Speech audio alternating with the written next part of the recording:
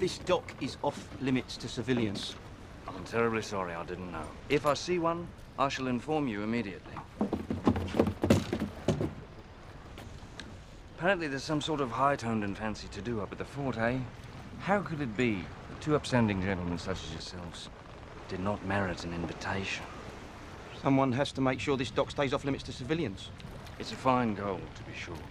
But it seems to me that a, a ship like that makes this one here a bit superfluous, really. Oh, the Dauntless is the power in these waters, true enough. But there's no ship that can match the Interceptor for speed. I've heard of one. It's supposed to be very fast, nigh uncatchable. The Black Pearl.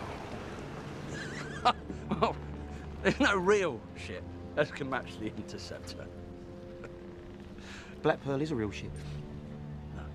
No, it's not. Yes, it is. I've seen it. You've seen it. Yes. You haven't seen it. Yes, I have.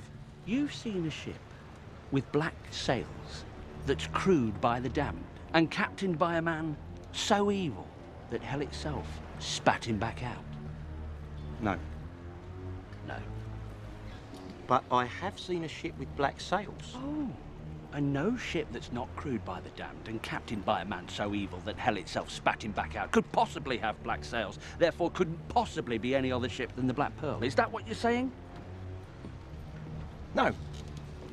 Like I said, there's no real ship as can match the Interceptor. Hey! You!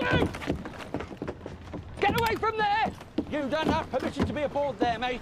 I'm sorry, it's just, it's such a pretty boat. Ship. What's your name?